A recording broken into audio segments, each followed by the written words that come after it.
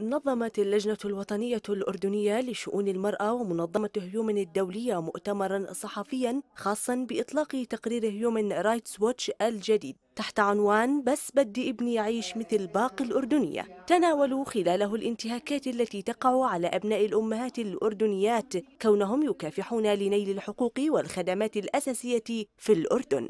أهمية هذا التقرير هو يوضح آه، بأنه يوجد هنالك تمييز صارخ بين الرجل آه، والامرأة في الأردن. وهو موضوع آه، طبعا تم تداوله منذ فترة طويلة من قبل النشطاء ومن قبل الجمعيات والمجتمع المدني ولكن لم يصل إلى إلى حد أن هذا القانون يتم تغييره ويتم تعديله من قبل البرلمان. وطبعا بخلال إصدار هذا التقرير نحن نأمل كمنظمة هيومن رايتس واتش أن نعيد النقاش في الأردن آه، بخصوص هذا هذا التمييز الصارخ الذي يحصل آه، للسيدات آه، المتزوجات من الأجانب ومن جميع العواقب لأبنائهم الغير مواطنين وأن يصل إلى تعديل القانون أو قانون الجنسية في الأردن لكي يضمن السيدات ويمنح أيضا السيدات الحق في منح أطفالهم الجنسية الأردنية. بينما أشار التقرير إلى عدد أبناء الأردنيات من آباء غير أردنيين والبالغ عددهم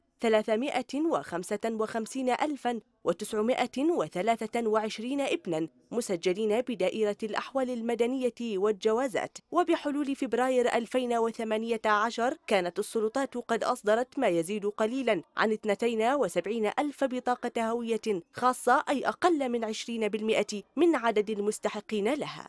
أن الجنسية هي ليست نسبا وإنما هي علاقة بين الدولة وعلاقة قانونية تحديدا بين الدولة والمواطن. وتمنح بشكل أساسي إما على رابطة الدم سواء للأب أو الأم أو على رابطة أو لكليهما أو على رابطة الأرض المولد بالبلد التي يولد فيها الشخص أو على الإقامة يعني خلال سنوات.